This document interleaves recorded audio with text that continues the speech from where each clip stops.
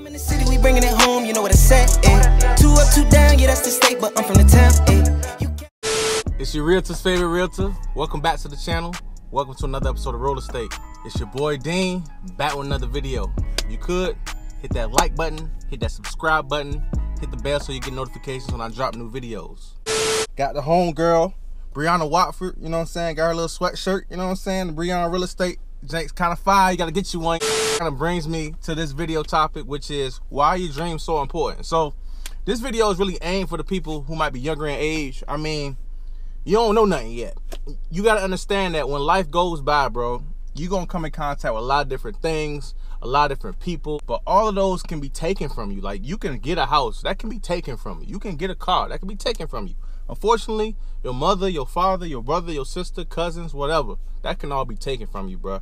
But the one thing that can't be taken from you, that I like to hold on to, is your dream. I mean, bro, I I, I have a lot of dreams.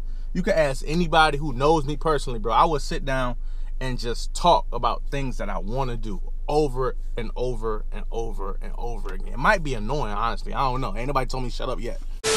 But what I'm saying is, don't let life come at you so quick and things develop and you feel as though you don't have time for your dreams. There's always time for your dreams, bro.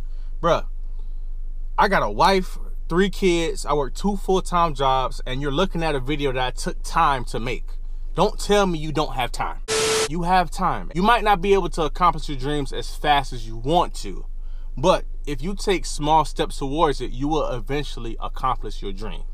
Also, with that being said, be careful who you tell your dreams to because some people who have negative mindsets may give you a response that you don't want to hear and that may kill your dream. But when you got a dream, it's a precious thing. You hold on to it and you fight for it till the very end, man. Do me one favor, man. Before y'all leave, go in the comment section and state one of your dreams, bro. And then probably months or years when you come back to this video again, check and see what you wrote, bro. And see if you really took steps towards doing what you wanted to do.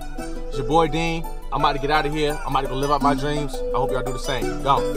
Bitch, i been ballin' like I'm hard and check out the stats, eh? I'm with the gang and we in the section, you know where we at?